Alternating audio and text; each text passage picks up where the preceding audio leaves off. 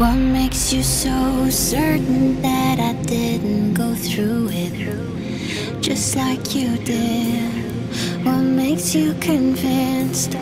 Is it cause it takes me a lot to be agitated?